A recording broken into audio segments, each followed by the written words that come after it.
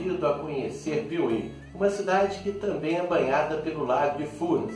Nós fizemos lá uma viagem de bike, é isso mesmo. Foi um passeio incrível. A turma do meu amigo Marzinho sobe e desce montanhas em busca de emoções que nós vamos levar tudo para você.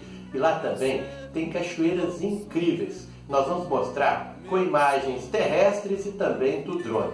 Vocês vão adorar. E se quiser conhecer mais de Piuí, entre no site viajandocontoledo.com.br. Pratique Minas, curta a vida, porque o nosso estado é maravilhoso.